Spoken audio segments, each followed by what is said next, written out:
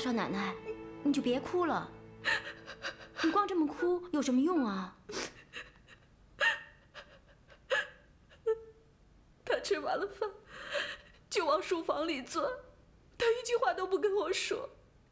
他勾搭了人，还这么理直气壮，我还能怎么样？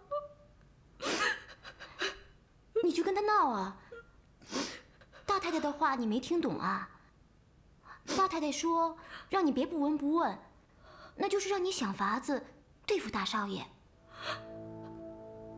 可是，如果娘不撵走那个教书先生，我光闹有什么用？怎么就没用了？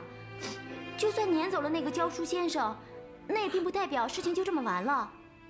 他跟那个上海女人可不一样，他就住在镇上，不论大太太撵不撵他走，都不能保证大少爷不再去见他。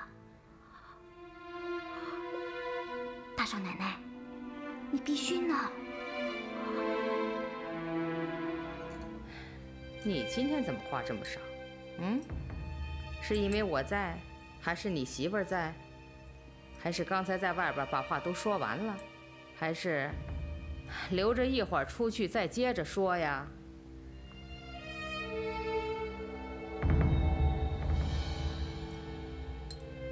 娘，我刚才只是随便跟他聊聊天，您不用。随便？你干嘛这么随便呢？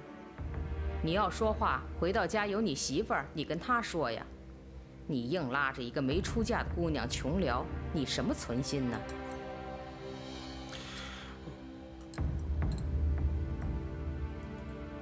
娘，您别现在训大哥，有客人在呢。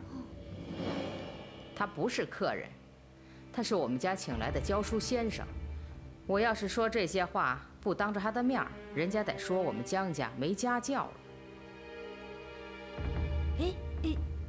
是大天看上他了。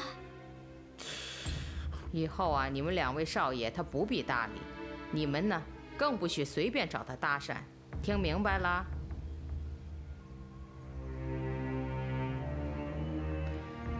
他人在外头，在上海，你跟他说不着、看不见的。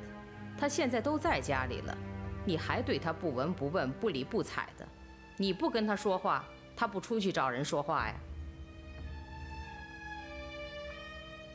我今天当着先生的面跟他们都说清楚了，以后啊，你也再不会有人骚扰。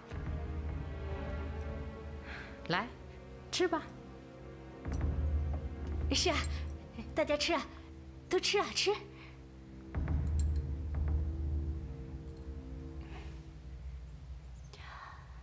我这里有些话，得回大太太。我知道大太太刚才的这番话。是为我着想，不过只怕您是冤枉了大少爷。我也更怕，大少奶奶会因此误会了大少爷跟我，所以我一定得说个清楚。今天下午不是大少爷来找我说话，而是我有事要跟大少爷商量。没想到，这犯了大太太的规矩。这自然都是我的不是，请大太太还有大少奶奶不要怪罪大少爷。哎呦，是这样啊，那误会你了。你看，还好教书先生解释清楚了，要不然大天呐还真是冤枉你了。哼，谁冤枉他了？这是人家好心帮他化解，让他下台。哎。你刚才不是说就随便说说话吗？怎么成了商量事情了？这商量的事情能拿出来说说？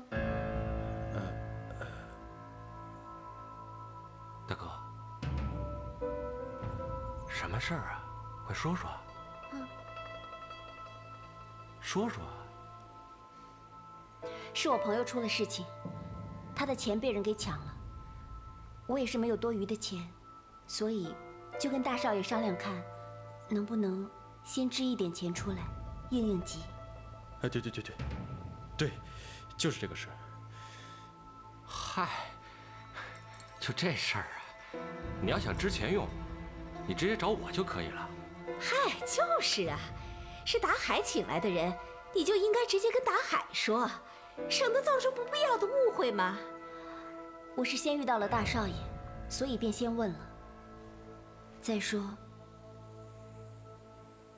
要是我跟二少爷商量，难道大太太就不误会了吗？大太太，您治家严谨。如果说二位少爷跟我说话便是骚扰的话，那我找他们说话，自然更是不堪。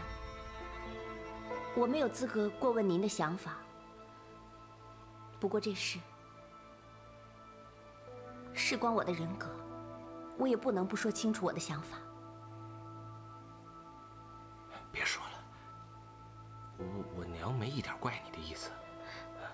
是啊，周姐姐。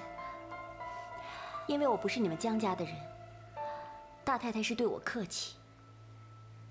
要是我不把话说明白了，只怕大太太会担心我来你们家生事了。大太太，你也是出门处理过生意的，在外头做事，自然是跟谁都得说上话。别说我是有事要找二位少爷商量，就是没事说说话。寒暄几句，他也是人情，也是礼貌。我做事有自己的分寸，您不必担心我会跟两位少爷有什么瓜葛。没人说你这个，那是你没有听懂大太太心底的话，她话里的话。你也是聪明的有点过了。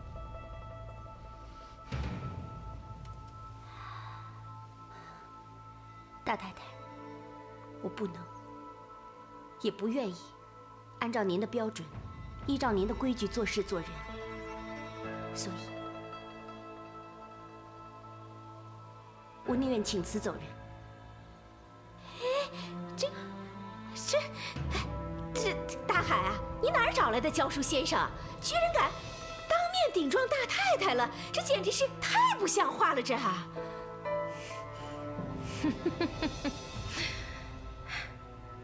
吃饭，请你来就是来吃饭的，这辞不辞的也没那么多话。来来来，菜都凉了，都吃，吃。